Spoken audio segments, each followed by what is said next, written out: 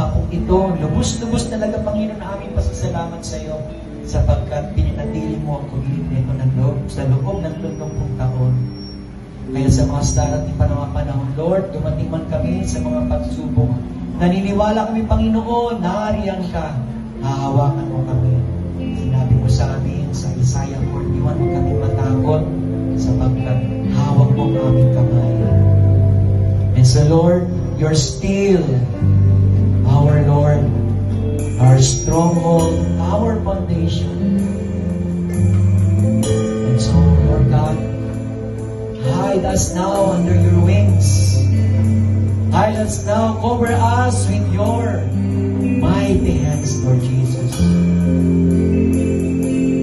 In every trial that will come on our way, Lord God, we believe, we truly believe, you will always embrace us.